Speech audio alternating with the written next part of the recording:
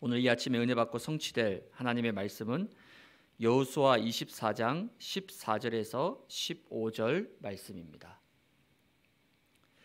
여호수아 24장 14절에서 15절까지 어, 두 절의 말씀을 제가 봉독해 드리겠습니다.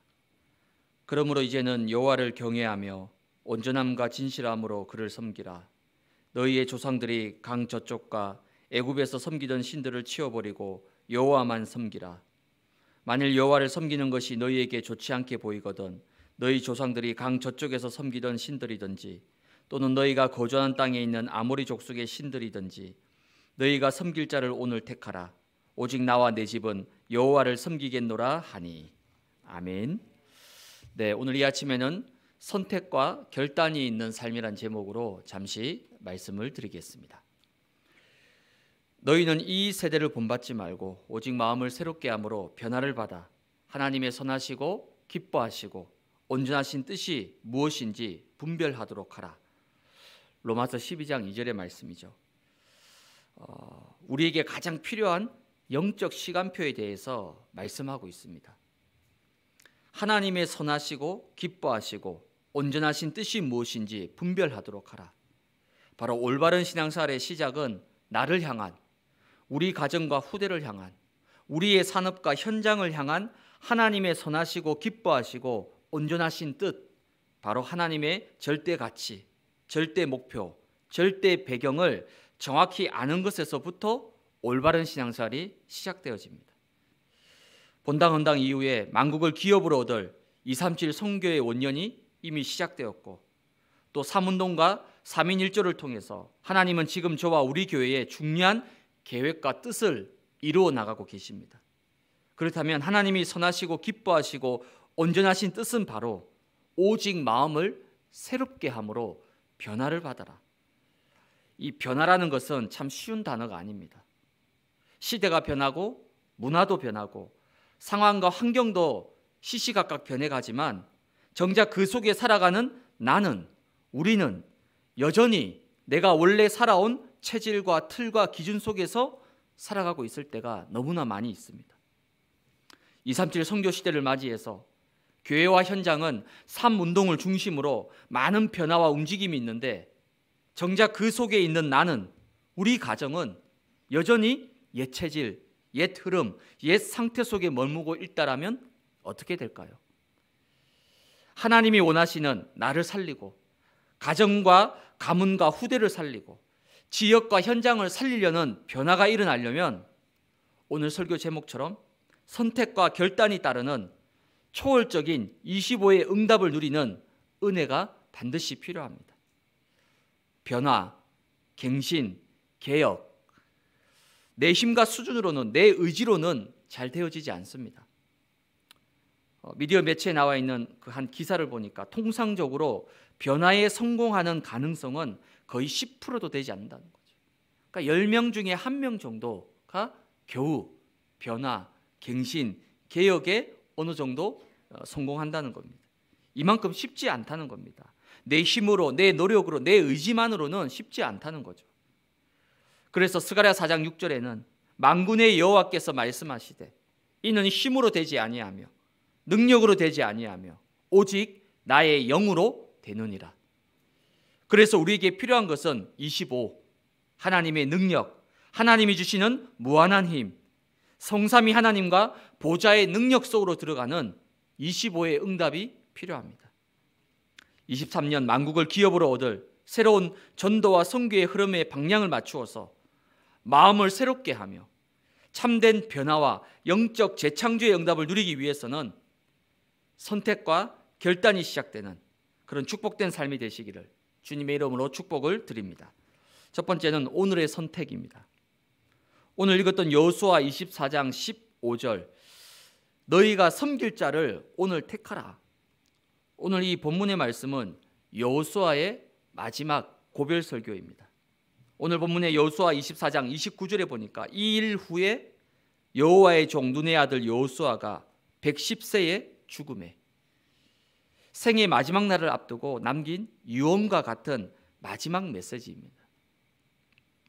가나안의 많은 땅들을 정복하고 차지했지만 아직 정복하지 못한 땅들이 여전히 남아 있기 때문에 여전히 가나안 정복 정쟁을 치루어야 하는 상황이지만 반대로 가나안 땅에 본격적으로 정착하고 뿌리 내리면서 이스라엘 백성들이 가나안 땅의 우상과 신들에게 영향을 받고 그 우상을 섬기는 일들이 지금 이스라엘 곳곳에서 일어나게 되었습니다. 지금 우리의 삶도 마찬가지입니다. 우리가 살아가는 세상은 여전히 창세기 3장의 세상이고 사단과 마귀가 세상 임금 노릇을 하면서 정사와 권세를 잡고 움직이고 있기 때문에 우리는 하루하루 세상과 현장에서 보이는 또 보이지 않는 이런 여러 가지 영향을 받고 살아가고 있습니다. 그래서 신앙생활은 선택의 싸움입니다. 오늘 하루 우리에게는 수많은 선택의 순간이 주어지게 됩니다. 그래서 유명한 이 세상 광고에 보면 나와 있죠. 순간의 선택이 평생을 좌우한다. 오늘 나에게 주어진 상황과 환경 속에서 나는 믿음과 불신앙 사이에서 하나님과 세상 사이에서 말씀과 현실 사이에서 무엇을 선택할 것인가? 영적으로 깨어있지 않으면, 영적으로 충만하지 않으면 나도 모르게 본능적으로 나를 위한 나 중심의 선택, 아니면 눈에 보이는 물질과 돈과 육신을 위한 선택, 아니면 나의 성공과 야망을 위한 선택을 할 수밖에 없습니다. 선택을 하기 전에 우리에게는 분명한 기준이 있어야 됩니다. 하나님이 원하시는 것, 하나님이 필요로 하시는 것, 이러한 정확한 영적 기준을 분별할 수 있는 영적 분별력이 필요하다는 거죠. 영적 분별력이 없으면 사람은 어쩔 수 없습니다. 창세기 3장이란 나라는 틀을 벗어날 수가 없습니다. 나 중심이라는 이 함정과 올무에서 절대 자유, 자유로울 수가 없습니다. 이 영적 분별력은 결국 말씀을 통해서만 주어지게 됩니다. 오늘 하루 여러분이 가정에서 또 직장에서 여러분이 살고 있는 지역과 현장에서 마주치게 될 선택의 순간과 상황 속에서 나는 과연 무엇을 선택할 것이냐? 내가 원하는 선택이 아니라 내가 하고 싶은 선택이 아니라 나를 넘어서서 모든 상황과 환경을 초월하여 사모노를 통해서 오늘 나의 삶과 나의 모든 것 속에서 하나님이 가장 원하시는 것을 선택하는 탁월한 성령 충만한 믿음의 선택을 매일매일 해 나가는 우리 예언의 가족들이 되시기를 주님의 이름으로 축복을 드립니다. 두 번째는 미래를 위한 결단입니다. 오늘 여호수아 24장 15절에 보면 너희가 섬길 자를 오늘 택하라 오직 나와 내 집은 여호와를 섬기겠노라. 16절에도 백성이 대답하여 이르되 우리가 결단코 여호와를 버리고 다른 신들을 섬기지 아니하오리니 가나안 땅을 차지하고 정복해 나가면서 육신적인 정복 정제만 하는 것이 아니라 사실은 더 중요한 눈에 보이지 않는 중요한 영적 전쟁도 지금 함께 일어나고 있습니다. 이스라엘 백성들이 전쟁에서 승리해서 땅은 차지하고 정복했지만 가나안 땅 바로 이방 사람들이 가진 그 사상과 우상 문화에 조용히 영향을 받고 거기에 흔들리게 되었습니다.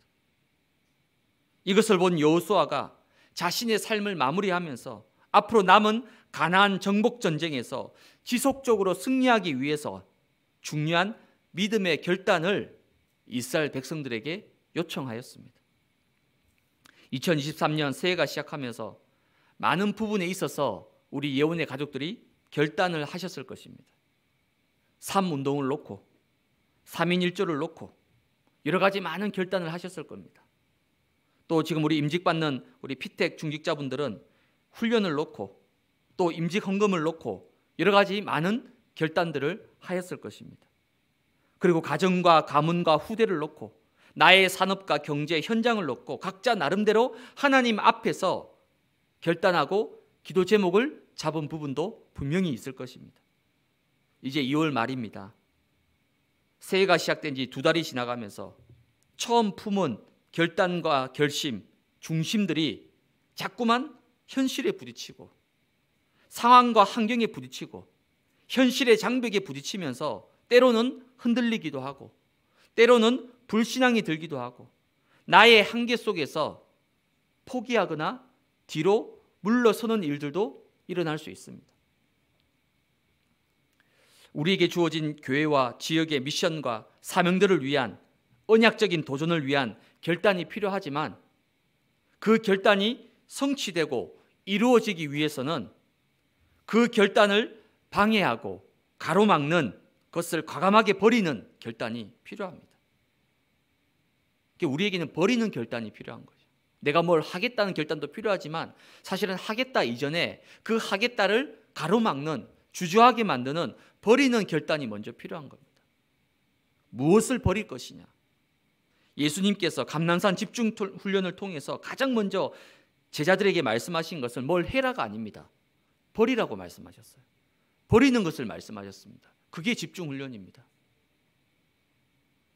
우리는 불필요한 것들을 너무나 많이 가지고 있습니다. 과거의 숨은 상처, 남들에게 결코 말하지 않지만 내 내면 속에 깊이 숨겨놓은 근원적인 불신앙, 순간순간 튀어나오는 옛 체질과 옛 틀, 이러한 것들을 수십 년간 내 안에 차곡차곡 쌓아놓은 채 예배도 드리고 훈련도 받고 심지어 헌신도 하고 사역도 하고 있습니다. 그러다가 어느 날 문제 사건이 터지면 이 모든 것이 폭발하면서 한꺼번에 무너지게 되는 겁니다. 바울은 일평생 그리스도의 복음 앞에서 버리는 결단을 싸웠습니다. 그리스도를 위하여 내게 해로 여기는 것들을 과감하게 배설물로 여기고 그 배설물을 매일매일 십자가 앞에 버렸습니다. 그게 갈라디아 2장 20절입니다. 내가 그리스도와 함께 십자가에 못 박혀 죽었다는 거죠. 그럼 버리는 겁니다. 내가 죽지 않고는 절대 버릴 수 없습니다. 내 자존심 버려집니까? 내 기준 버려집니까? 내 동기, 내 야망, 내 의지 버려집니까?